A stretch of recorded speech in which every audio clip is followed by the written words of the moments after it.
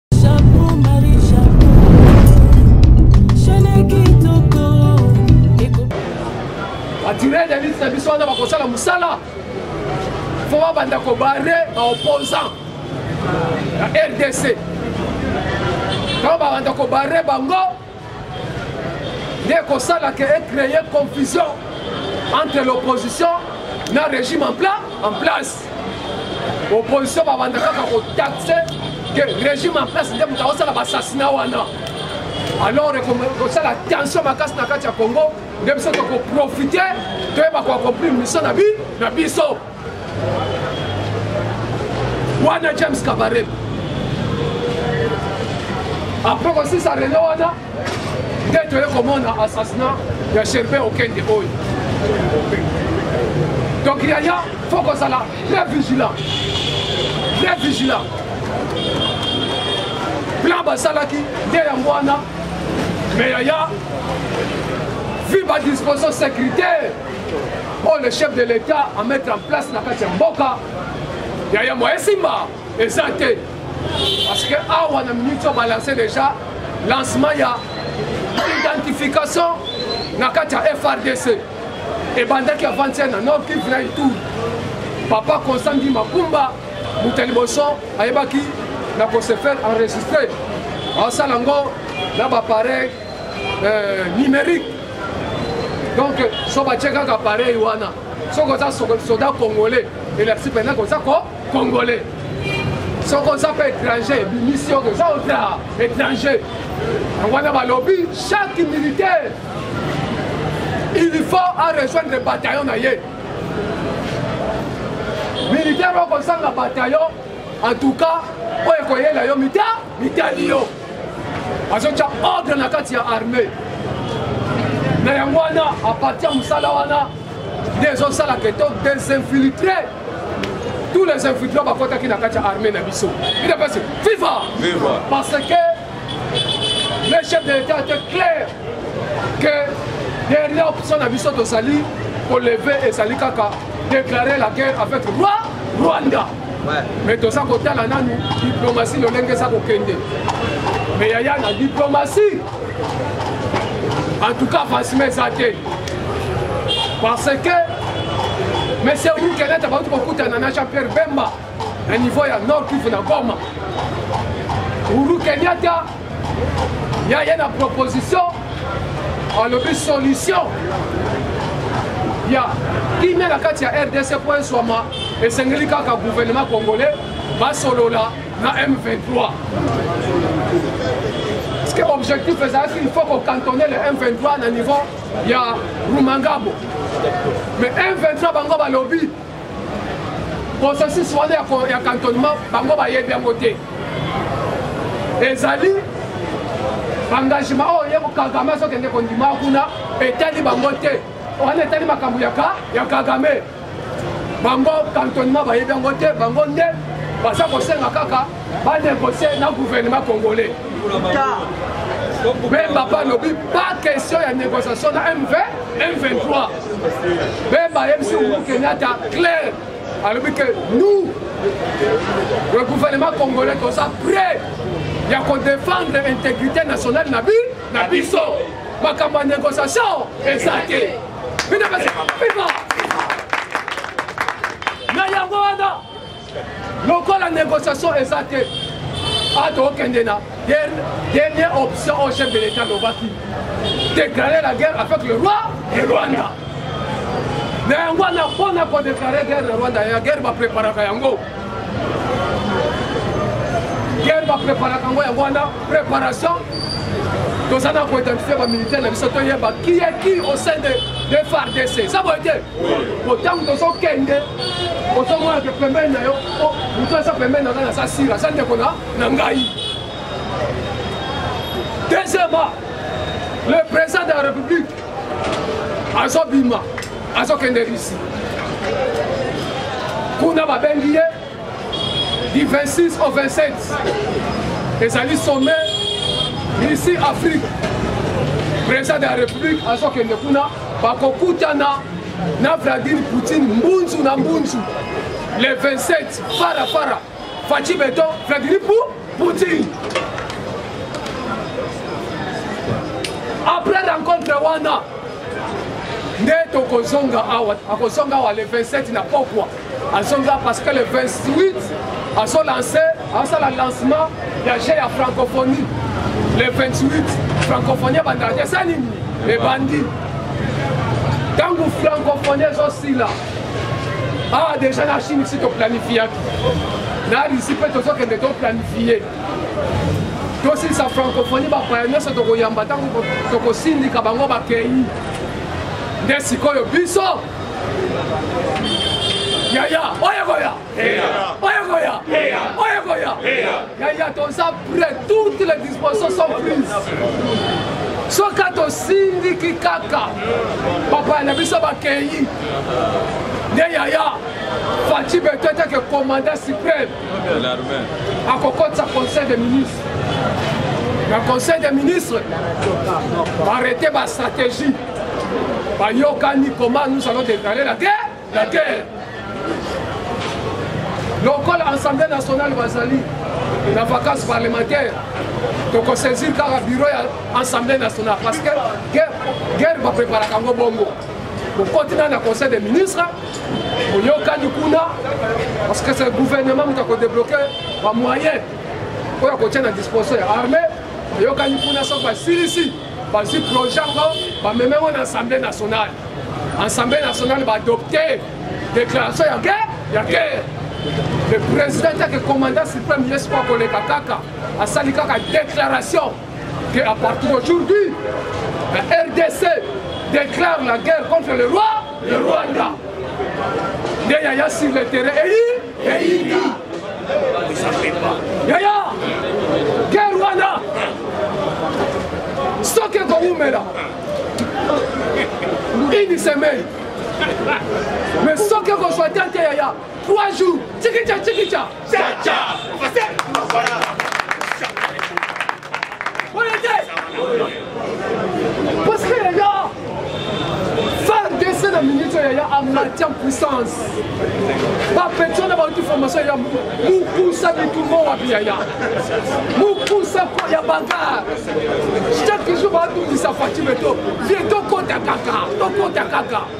mais faci azalisa kaka bana te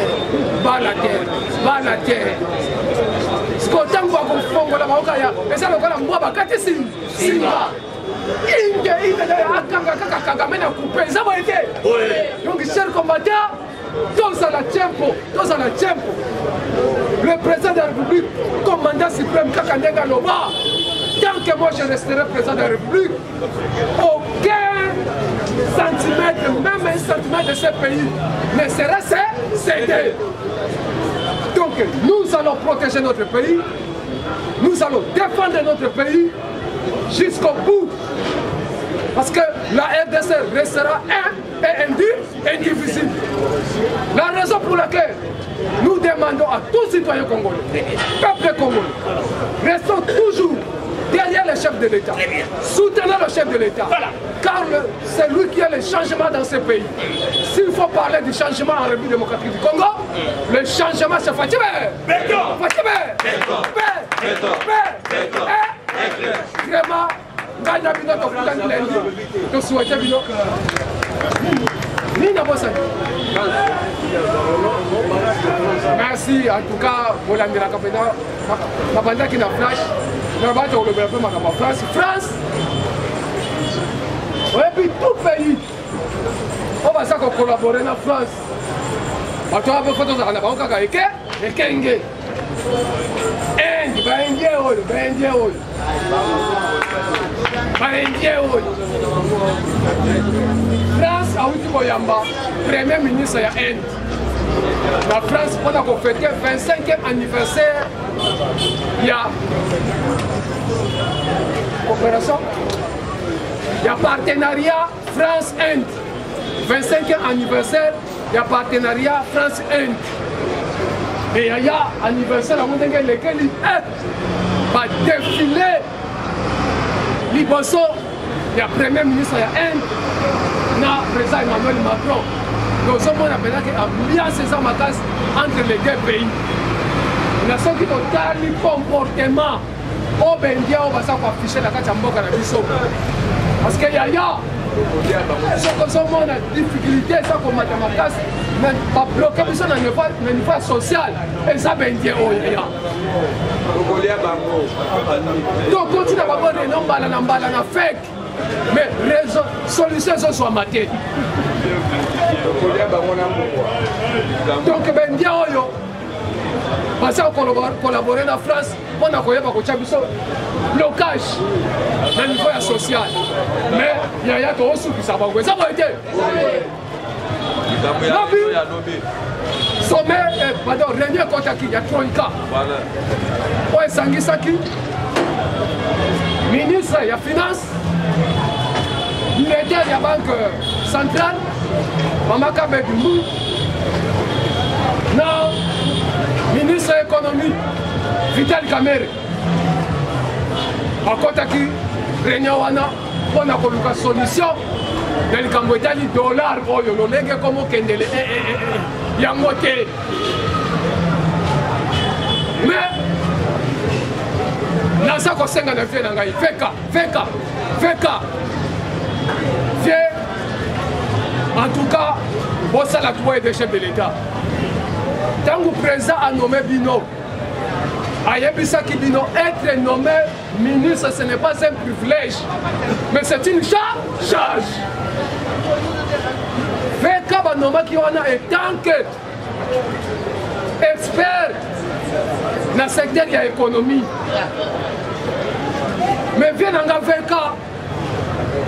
en tout cas bandokoti wana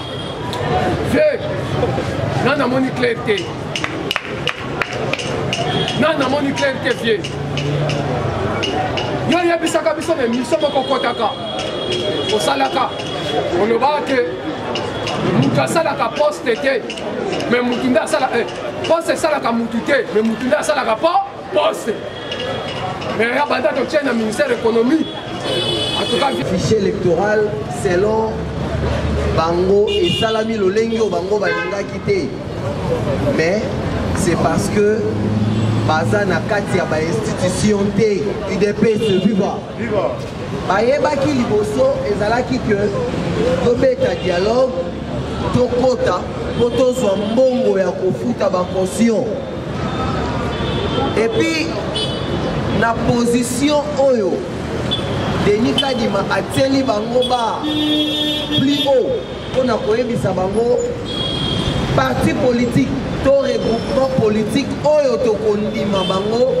bazala baoyo bakoaligne plus de 300 candidats plus de 300 candidats nde tondimi ke boza parti politique moko asi ou bien boza regroupement politique moko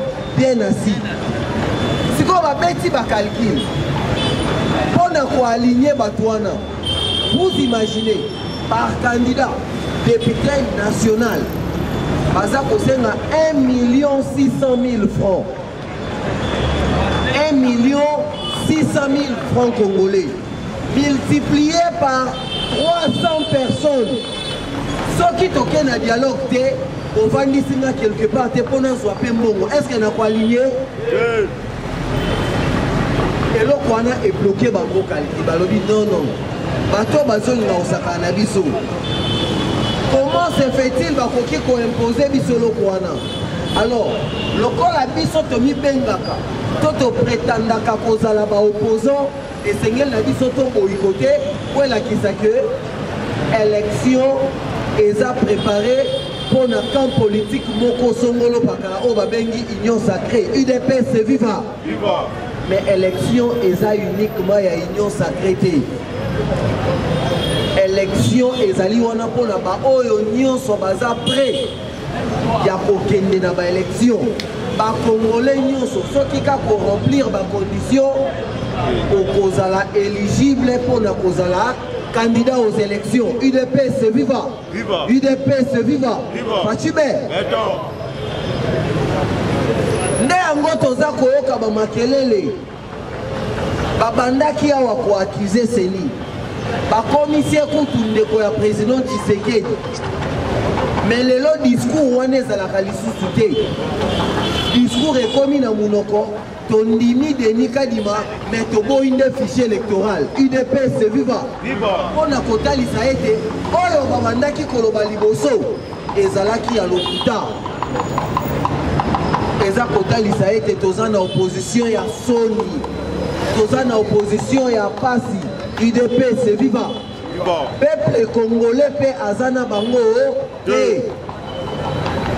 na ntango baza koloba ete tokoaplike article 64 ya constitution kotanga article wana awa balobi oyo aza kozwa pouvoir na ndenge oyo constitution esengi na ye te azwa pouvoir ye wana il faut peuple atelemela idps viva eza boye te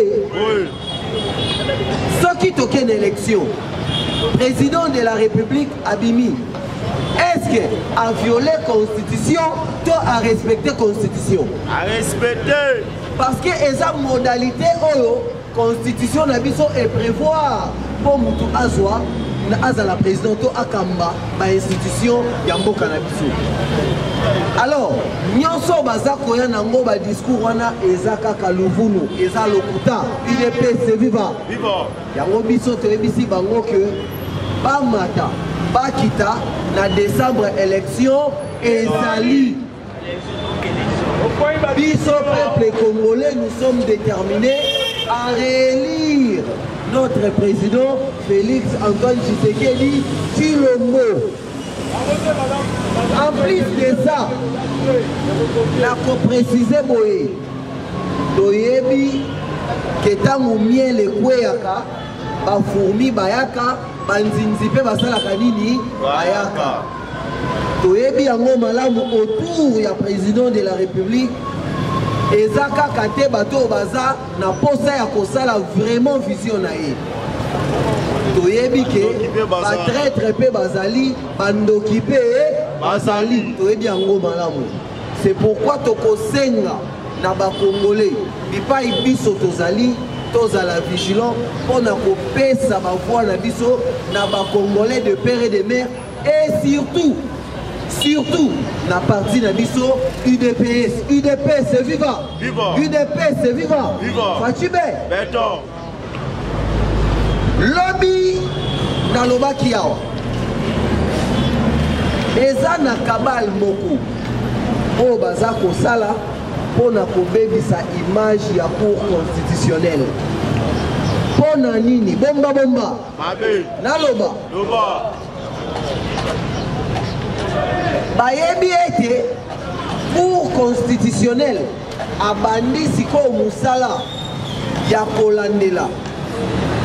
yo ozalaki ministre selon constitution na biso elobi boye Avant okota en fonction, il faut kende kosala deposition ya ba bien nyonso oyo oza nango na cour constitutionnelle. Tangu pe okobima ebongi balandela babeta calcul bayebi ke babandai kofuta yo autant na mbongo wana okokaki kosomba eloko songolo pakala soki eleki eza babien oyo leta ifo asa nini arecupere yango nde mosala oyo cour constitutionnel abandi epuis mpo na likambo ya ministre chéribin okende cour constitutionnel a précise très bien alobi ezalaki kaka ye moko te totindaki invitation na trois ministres démissionnaires udps viva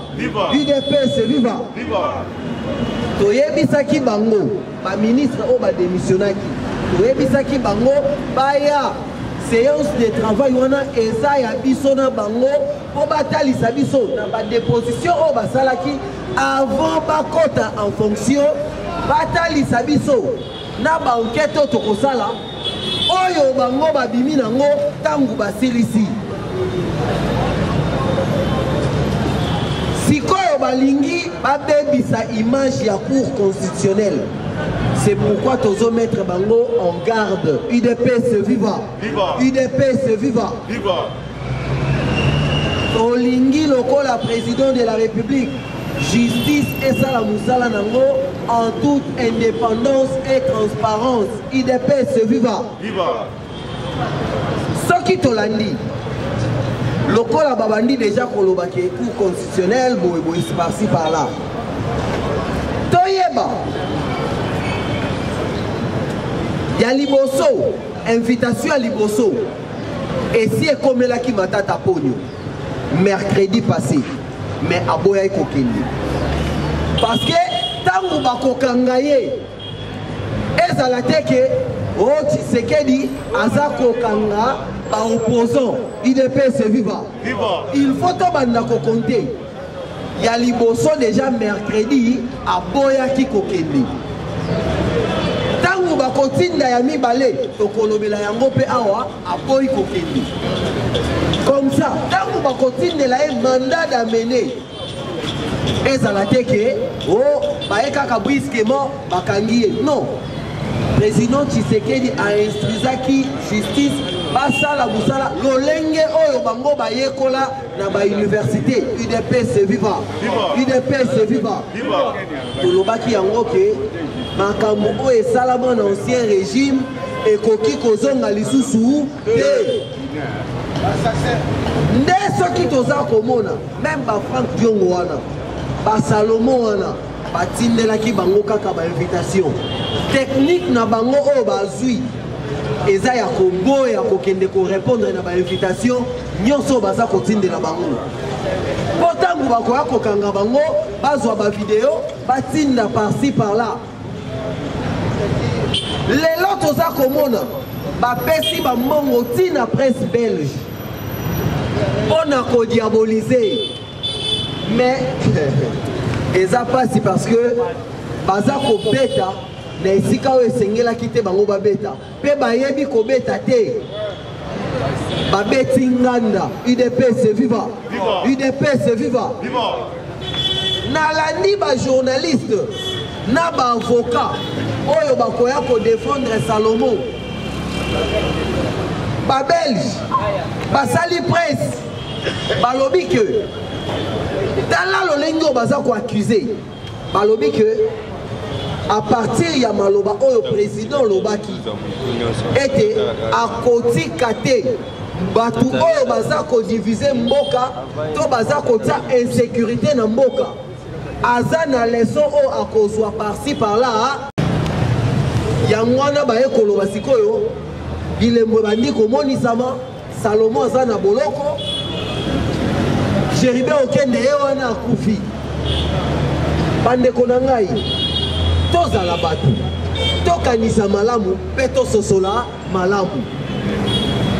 Jeribe okende oyo toza kolela lelo, oyo totiki justice asala mosala na ye. parce que balobi baservice ya sécurité nyonso baza en alerte epuis nga naza sur ke na justice na biso lokola président de la république atie maboko na ye mpe misu na ye mayele na ye mpo na badécouvrir bato oyo basali eloko wana bakozwama udps viva tose fie na badéclaration oyo basali te ya koloba ete de bon côté de l'histoire na makila non je vous assure ete bato oyo basali meurtre wana bakozala saisi mpe tokoyeba bango cheribe okende atikala koprege tribalisme eh, te atikala mpe kozala temoin gênant mpo na pouvoir ya ya president tshisekedi te atikala mpe kotya insecurité te d'ailleurs na ntango bazokanga bato na baarme baza kotambola nango parci parla totikali komona cheribe okende bainterpele ye te mpo na likambo ya arme alors babelge wana babeti mopanzi toyebi komplo ezali tellement awa baza kokoka te bake kozwa osecour libanda bake lokola bayebi ke bamindele babelge bayokaka bango mingi yango bake kosenga sikoyo soutien libanda soutien ya eglise katholike ezokoka lisusu te peuple congolais si acomprendre Maloba oyo eglise catholique baza koloba pas église catholique mais senko na précise bien senko tellement soutien balakaki na moïse katumbi ezokoka te nde bapesi bambongo libanda mpo na kodiabolize udps viva mais ekosimba te na cour constitutionnelle batindi lisusu deuxième invitation batindi deuxième invitation cette fois-ci mpona matata ponyo deo gracias mwana nyembo oyo azalaki ancien gouverneur ya banque centrale mpe mese cobler udps viva udps viva Biso peuple congolais toza na posa toyeba verite sur dossier Bukanga Lonzo. eza boye te eza boye te udps viva udps viva chaque combattant eza mpasi lelo oyo Koyoka le president Yoweri Museveni a accusé ancien president Joseph Kabila que aza mutu oyo a collaboraka na ba ADF. S'il vous plaît, s'il vous plaît, ngai ba jour oyo naza na ba analyse bazalaki bango nyonso ba président mpo na nini te na ntango wana alobaka ba verité oyo epuis kaka na moma oyo biso toza koakize baterroriste ya m23 ye mpe akomi koakize joseph kabila Bien sûr balobaka que soki likundu ayebi soki ngolo aza maladi ndimela ye mpo bango nyonso baza nini bavandaka na mai biso toza na biso peuple toza na biso population toza koyoka se koyoka mpe toza koanalyse soki yoweri museveni aza koaccuse joseph kabila banani oyo bapesaki nzela na ba M23 mpo bakota na Bunagana Uganda Uganda apesi nzela na bateroriste ya M23 bakota na Bunagana epuis mwana ya ye Museveni alobi ke bandeko na ngai oyo baza kobunda na RDC baza kobunda bitumba moko oyo eza juste parce que baza kodefendre badroit na bango est ce que museveni esi atelemela eloko wana c'est clair cohabitation oyo toza komona na bunagana entre baougandais na baterroriste ya m23 eza clair uganda nde aza à la base en complicité na Rwanda pour la déstabiliser est ya mboka na biso UDPS viva lokola ye mpe pointé Joseph Kabila qui a dit quelque chose parce que ba ADF ba frappa qui pas na Ouganda biso mpe toza koaccuse ye mpo ye mpe aza moko oyo bafacilitaki entrée ya baterroriste ya m23 udps viva viva na ntango oyo gouverneur militaire aza koloba ete il faut bapoint nyonso ya douane baposte douanier nyonso ya bunagana ezonga na maboko ya bakongolais ba m23 balobi wana eza provocation baoyo baza na bunagana balobi eza provocation tokotika yango te estce yoeri museveni atelemeli bango mpo babima bazonga na rwanda udps viva udps viva toza lisusu na moma ya théâtre eh? toza mpe na moma ya distraction nous sommes déterminés avec notre armée la frdc oyo président de la république atie déjà mayele na ye alobi likambo oyo il faut sa nini esila et puis nous sommes déterminés parce que bamilitaire na biso ils sont très bien équipés actuellement très bien équipés lokola baza kobangisa nde tobandi koyoka badéclaration wana udps viva udps viva mais biso mpe toza toujours vigilant toza kolandela lolenge nini situation sécuritaire ya mboka na biso eza kotambola ntango toza koloba ke tosoutenir président de la république non seulement toza kosoutenir personne ya président mais toza kosoutenir mpe oyo nyonso programme nyonso président oza kosala soki Bato oyo bauti koleka bazalaki vraiment na souci ya kosunga peuple congolais nde président de la république akutani na badifficulté oyo akutani nango te lelo bandeko na ngai angola luanda na kinshasa basangisi yango na fibre optique baapele ndenge ezalaki difficile kolongwa rdc ti angola ebandaki kozala taxe plus cher lelo bafacilité eloko wana c'est quand même quelque chose à saluer tokoki kobetela nanu président ata maboko